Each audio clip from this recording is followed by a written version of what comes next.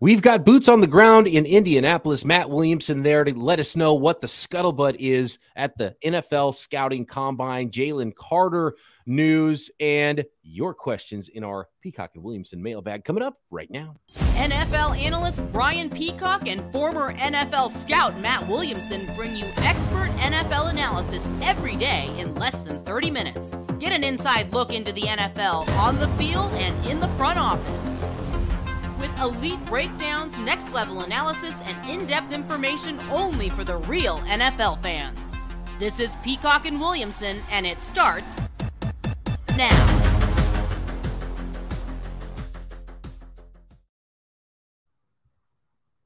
Welcome to the Peacock and Williamson NFL show. Brian Peacock alongside Matt Williamson at BD Peacock at Williamson NFL on Twitter. That's where those questions are coming from on today's mailbag episode of P and W. Thanks everybody for making us your first listen on the Locked On Podcast Network. Your team every day. Uh, Matt, the big bombshell news of Wednesday at the combine was Jalen Carter. And I'm sure you're hearing people talk about it there. Uh, people are talking about it everywhere and how this might affect him with the law, with the league, with um, the NFL draft, of course. This being uh, he was about to go up on stage, right? He was scheduled mm-hmm. at 10:30 a.m. Pacific time to go on stage when it was announced that as a result of the ongoing investigation into a January 15th, 2023 fatal crash that occurred on the 900 block of Barnett Shoals Road uh, in Athens, Clarke County in Georgia, uh, the police department has secured arrest warrants for Jalen Carter, 21 years old, for reckless driving and racing. The investigation found that uh, Chandler LeCroy, driver of a 2021 Ford Expedition, and Jalen Carter, driver of a 2021 Jeep Trackhawk, were operating their vehicles in a manner consistent with racing shortly after leaving the downtown Athens area at about 2:30 a.m. Evidence demonstrated that both vehicles switched between lanes, drove through the center lane, uh, drove in uh, opposite lanes of travel, overtook other motorists, drove at high rates of speed in an apparent attempt to outdistance each other. Evidence indicated that shortly before the crash, the expedition was traveling at about 104 miles per hour. The, toxic- the toxicology report indicated that LeCroy's blood alcohol concentration was 0.197 at the time of the crash. Investigators determined that alcohol impairment, racing, reckless driving, and speed were significant contributing factors to the crash. The case will be given to the Solicitor General's office. And apparently, um, misleading was Jalen Carter when asked about this, said he was miles away from this accident when in fact he was there and fled the scene. So Jalen Carter in some hot water with the law locally, and it could be even worse for his NFL career, at least the start of it, uh, as the NFL and leagues and, and GMs are concerned. So, Matt, uh, what do you think of this late bomb, this latest bombshell? And, and, there's always something every year. There's one prospect that's expected to go really high, and something happens yeah. off the field that affects that stock. Um, what are you hearing in in Indy about this Jalen Carter stuff? Yeah, I mean, apparently, as you said, the defensive tackles are all getting ready to do their hits at the podium, and they kind of say, "Guys, hold up a minute, hold up a minute," and then eventually they took him away. And uh, I mean, that had to be on purpose. I mean, trying to embarrass him or make a splash or whatever. I mean, I don't know. I mean, maybe not. Maybe I'm looking too much into that.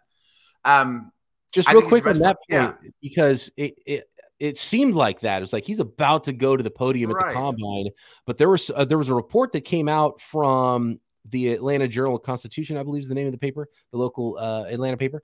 There was a, an article that came out like right before this was announced that there was arrest warrant. So I wonder if people caught word of it, and so the police department said, "Well, we have to we have to announce the warrants now because now the story's getting out." So I wonder if that okay. had something to do with it, or if it was like they wanted to do it before the combine, uh, or maybe it was you know sort of dubious timing there. So it just the, the timing very curious though. Yeah, way. no question about that. I, I think he's the best player in the draft. I mean, I think he's a guaranteed top four pick before all these things. And here's the little I'm hearing, and it's not fact. I'm not a reporter. I'm not breaking news. It's just kind of word behind the scene everywhere you kind of bring it up. Is first of all, if you're a team that interviewed him, your interviews are already done, you know, so you didn't get a chance to ask about this incident. But these teams know so much more than people realize. You know, like my examples of this are we had a Secret Service agent that was in George Bush Sr.'s cabinet or in charge of you know um, keeping him safe. That's who did our background checks in Cleveland. You know, like that, just to give you some example of the level of people that these guys have. And I don't know if you remember Max Starks. He's an old Steeler. He's a six foot eight, 350 pound offensive tackle. Yeah, of course. Yeah, I was up, uh, but I've been on, on the air with Max. We went out last night. And when this broke, he's like, when I was getting drafted, my fifth grade teacher was called. My principal in my junior high was called. You know, like these guys have done background checks on Jalen Carter way deep before this. And I think there's been concern with him. You know, I, I, hear the word immature left and right with this guy, you know, and he is a little younger. Um, I heard things like they had trouble, they had to make sure they could get him to the studio or the, the to the, uh, the, the stadium on time, you know, like needed babysat. You know, I never heard anyone saying he's a terrible human being. He does criminal activities, but I've heard a lot of people behind the scenes saying things of that nature that needs babysat, immature, not sure we can trust them, you know, that kind of thing. There's always the vague, oh, medical red flags, or there's character concerns, and you never know what's true, what's accurate, what exactly they mean when they say this stuff. And some people call BS on these things. And there was a report from Todd McShay about that, and he's mentioned now there's there's some character stuff with with uh, with Jalen Carter. Carter. for some teams. He said that in December, so it wasn't like he knew right. about this incident. It hadn't even happened yet. So there's definitely something there, and I don't think it's a one time deal. He, I think he did get a DUI actually, uh, or no, no, it was a, sorry, he had a speeding ticket prior to this in September, I, I believe okay. as well. So you know, this isn't the first time he's going too fast in a car. Uh, I think all of us might have been guilty of that at some point when we were, you know, 21 or younger years sure, old. Sure. Um, so that doesn't mean he's a bad person, but there's something there, and teams are gonna have to look harder. And if you're gonna spend the number one pick in the draft, the number three pick in the draft on a player, you want him to be a lot of money. darn squeaky clean. Right. You, you want to make him the face of your franchise, first overall pick, fourth overall pick, give him a ton of money, make him a big star, put him on the billboards. You know, a lot of owners would be like, eh, I don't know about that. You know, yeah, you want to you want to be able to trust this player. Right. And uh, the, the, most recent example of that is, and it sounded like the similar kind of stuff was uh, CJ Henderson, who was drafted by mm-hmm. the Jacksonville Jaguars and then immediately traded after his rookie year to the Carolina Panthers. And he was so talented and he was a top 10 pick, but they had to go to his house to pick him up to get him to come to practice, you know? And yeah, yeah, yeah. Some of that stuff's not as uncommon as people might think, especially 19, 20 year olds, first time away from home, you know, babysitting them a little bit or great players. But it's far from ideal, know, of course. But I'm not a lawyer, but talking to some people here too, or they've at least speculated, it probably won't be hard. I mean, he wasn't breathalyzed. He, he's not, he, you know, the, the other driver was, as you mentioned, and had way over the legal limit but you could trace him probably back to being at that bar or whatever and at the same time well that's the thing it's it's and and maybe you could connect those dots and we don't have right. the exact details and and i'm sure teams are going to have their own private investigators and i'm sure that's what is part of this with the uh the, the police department there in that county um in athens but you know if he's there in the bar and there's people people are like yeah jalen carter was drinking at this bar and and you know he was driving at 2:30 a.m., then you can connect yeah. those dots pretty easily, and that might be the reason why he fled that scene because he knew he would have come up with a point whatever on his breathalyzer too. And, right, exactly. And so it's not just. Um, and here's the thing: is the league doesn't need the the the legal precedent to do their own thing either. So exactly, there's a chance that Jalen Carter, by the time the draft comes around, teams know that he's going to end up on some list or whatever. Especially after what we saw with with Henry Ruggs. That, that was the that was the, the exact thing that. that happened with Henry Ruggs was he was drunk driving going 100 and something miles an hour and it ended up in a deadly crash like this was. And it wasn't jalen carter's car that crashed in this but if he's racing a guy there's you know some guilt by association too with this. And you can probably connect some dots there about a dui potentially if they get those reports and they're able to do those checks uh, with the bars and um and find out there. But so it's it's it's not a good situation for Jalen Carter, whether it's with the law, whether it's with the league, or whether it's just teams now that won't draft him as high as they would have. You know, yeah. you would clearly put Will Anderson ahead of Jalen Carter in your mock drafts now for the Bears at the very least. At the very least. So my, my last two little nuggets on it are you think anyone took video or pictures of Jalen Carter at a bar after Georgia's national title game? You know, uh, of course. I mean, he's not exactly right. an unrecognizable figure. I mean, he's probably the star of the bar. He's the best player on the best team partying it up with college kids or whatever. And it's pretty easy mean? to find him probably in the background of someone else's photo. Like, exactly. exactly. six four two, you know, three hundred. right, right, right, Although right. there's probably a lot of football players there, so it might not be possibly. It was just him with a bunch of civilians. Right. Uh, I mean, you can't prove that he was intoxicated, but it doesn't. Unless I mean, who knows? There might, there might be footage of him actually drinking too. Like that, oh, that who knows? There, you know, whatever. Right. Camera at the bar, other people's you know cell phones out. So, and but it is March first. You know, so what do we have seven weeks or so until the draft? I mean, yeah. the teams will get their answers, legal stuff will come out. This is very fresh on our minds, and you immediately think Tunsil bong hits or whatever. You know, I mean, it's not right. draft day uh, or La'el Collins had didn't even get drafted, or you know yes. what I mean. Yeah, and, and so I, I want to dig into that a little bit more about what it could mean for him, what a slide could look like for Jalen Carter potentially in the NFL draft. What else Matt Williamson is hearing from Indianapolis and your mailbag question. Absolutely next. Today's episode brought to you by FanDuel. Of course, you can still bet on NFL football, even though the NFL season is over. Future Super Bowl winners, future MVPs, and of course, those tasty, tasty draft props that I love so much at FanDuel, America's number one sports book. And now it's getting serious with the NBA season. You know, we're past midway point of the season, past the All Star game, past the, the trade deadline. It's the perfect time to download FanDuel because new customers get a no sweat first bet up to $1,000. That's bonus bets back if your first bet doesn't win. Just download the FanDuel Sportsbook app. It's safe, secure. Love the website, love the app. They're super easy to use and build your own bets. And you bet on everything from money line to point scores to threes drained.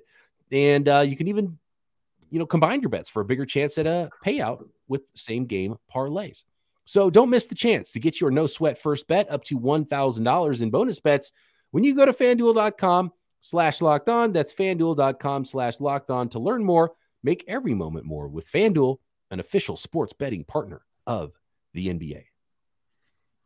So this is where it gets, and look, we're going to learn a lot, Matt, about Jalen Carter and about mm-hmm. what it looks like with with you know details and i'm sure some of that will come out and i'm sure we won't hear every detail either and um, every team that is interested in carter is going to do their investigating and teams maybe further down the first round that didn't think they would have an opportunity are going to start looking at this a lot harder and think oh what if he falls to x pick would we take him still and i think it gets really like know the Bears starts to get pretty easy. So, like, you know, let's say Will Anderson's off the board. You're getting around pick five, you know, a couple quarterbacks, Will Anderson's off the board, and you're the Seattle Seahawks and you're staring at at Jalen Carter. And now it's not like a tie because this is easy to break a tie between Will Anderson and Jalen Carter. It's like, okay, this is off field stuff. This guy's team captain, you know.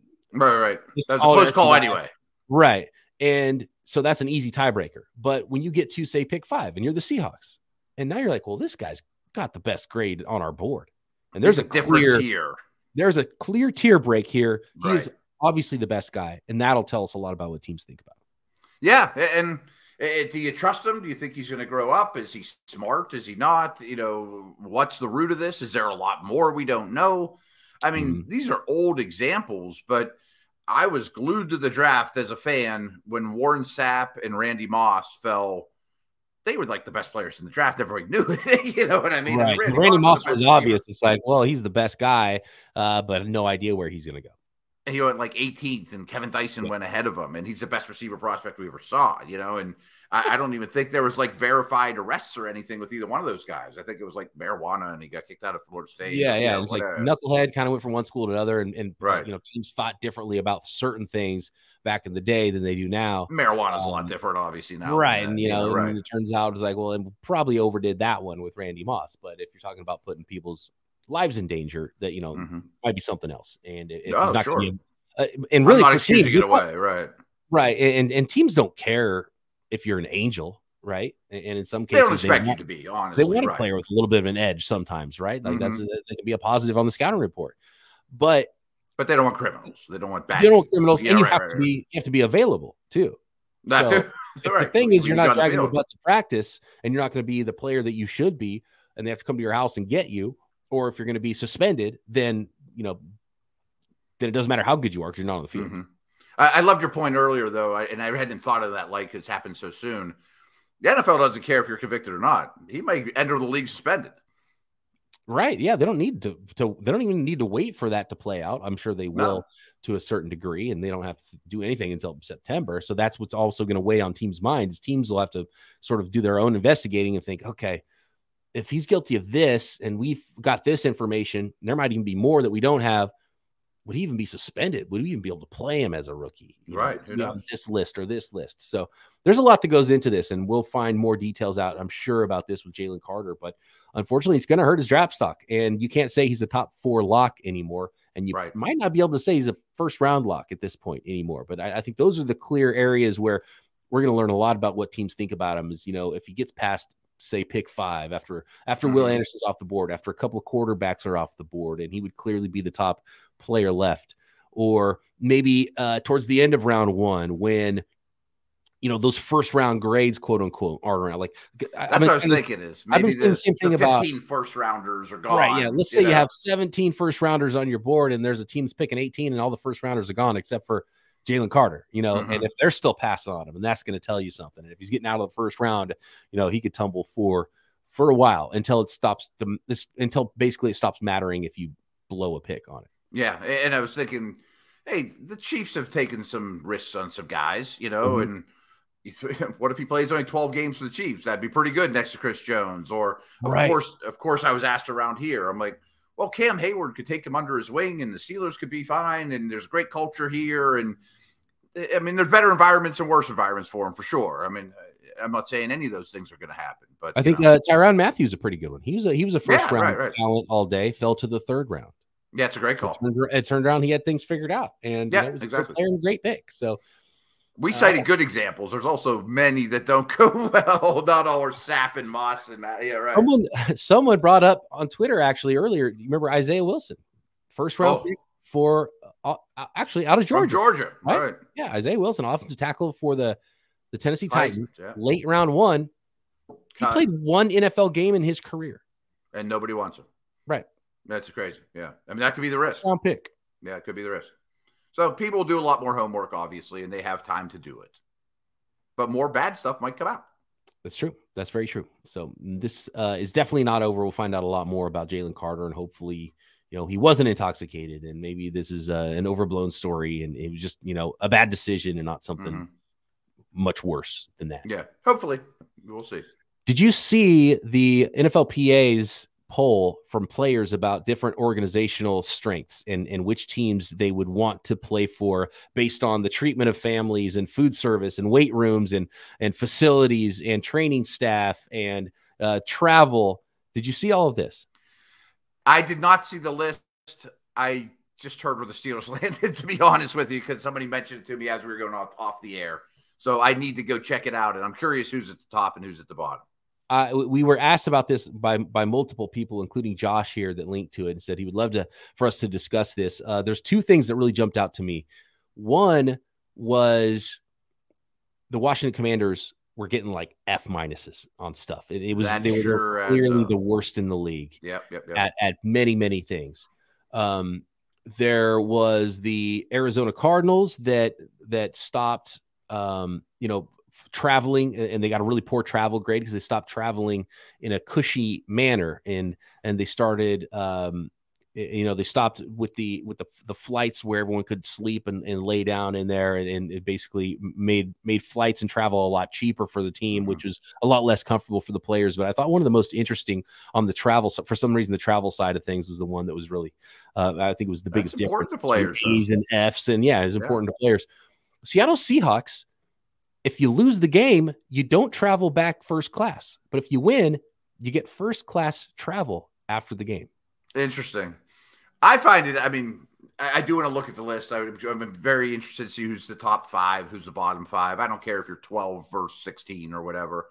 But it kind of reminds, I mean, like, it's almost like when unions were created. Like, no one would have ever spoke out against the Rockefellers or Carnegies about work conditions, you know, or you know the 70s teams or the 80s teams or let alone george halas's bears or whatever it's pretty cool that these players actually have a little insight you know and can tell you hey things aren't as good here as they should be or compared to other teams and they all talk they've all been on multiple teams and you know a lot of them have and know if they're having it good or not and it's going to hurt in free agency and things like that too.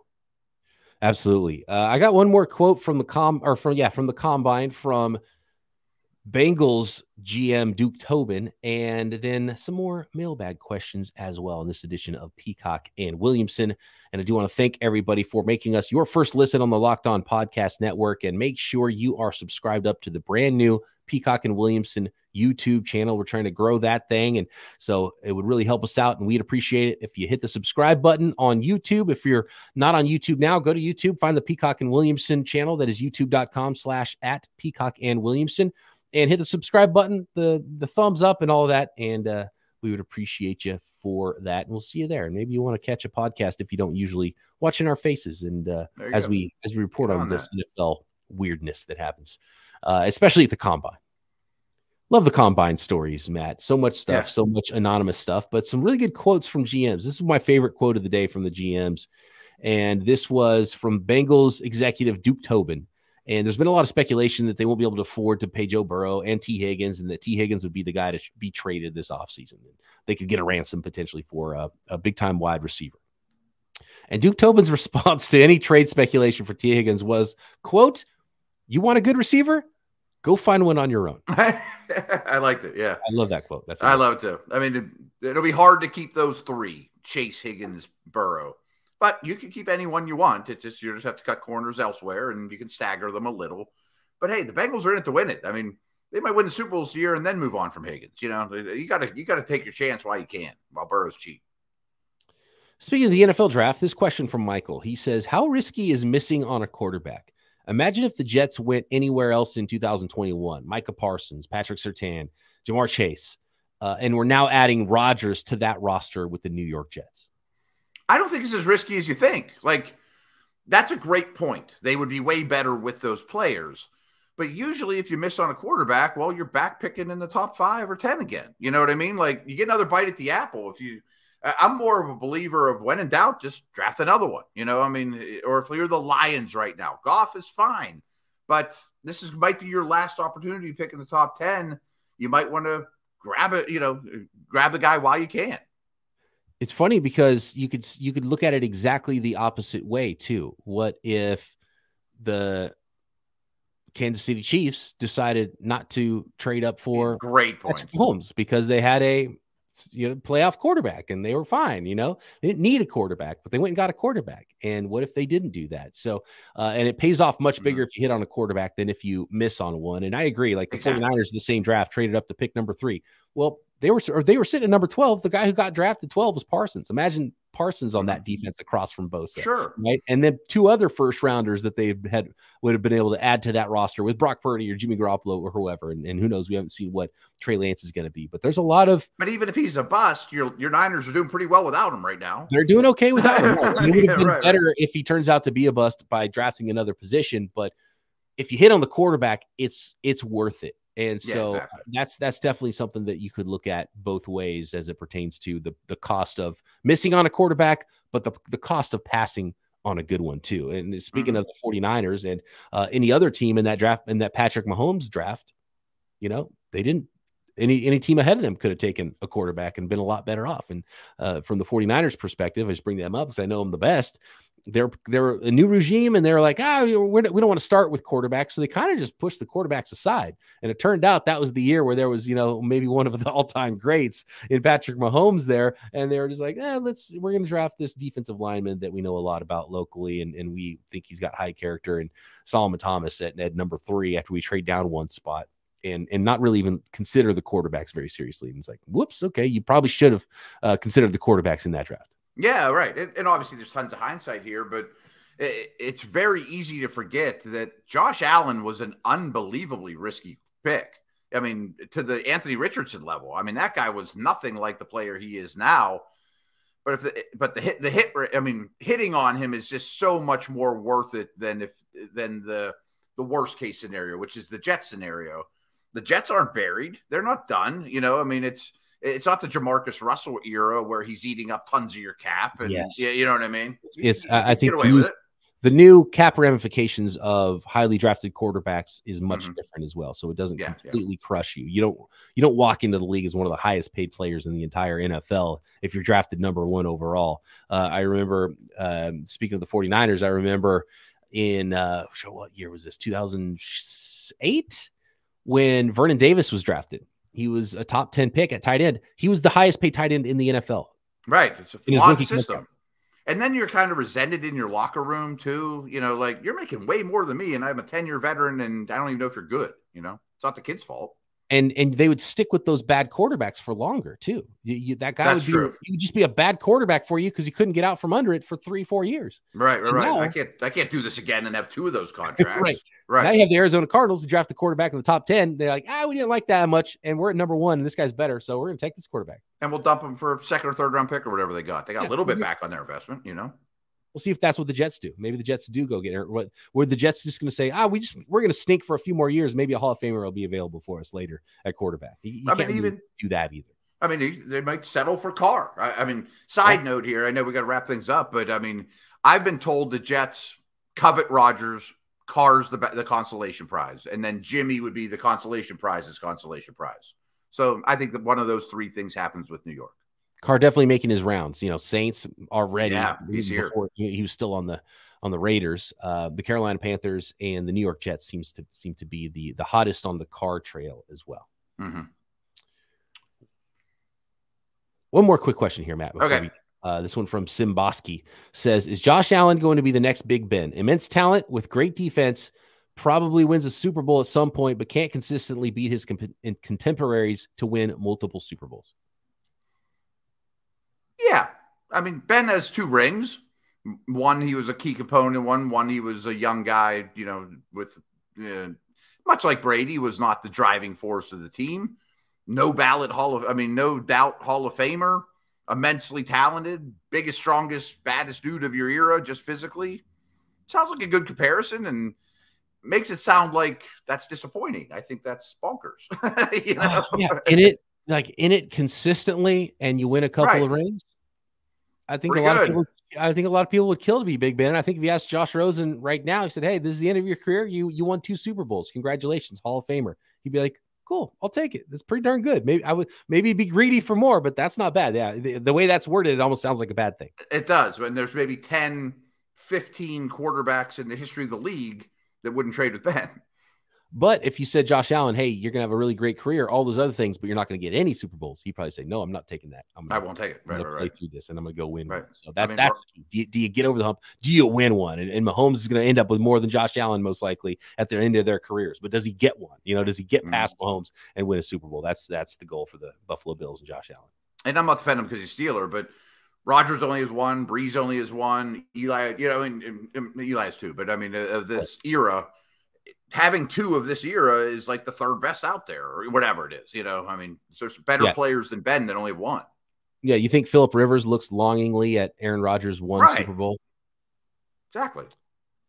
Thanks for all the questions, everybody. We had a lot to get to, so we didn't get to a ton of questions. But if we have any leftover questions, feel free to keep sending them all week long. We'll filter some in as Matt gets more intel from Indianapolis, more on the scouting combine. We're going to get start to see some heights and weights and speeds as well. Oh, yeah. Thanks, everybody, for making us your first listen. Make sure you hit subscribe, tell a friend about Peacock and Williamson. Back tomorrow, right here, Peacock and Williamson.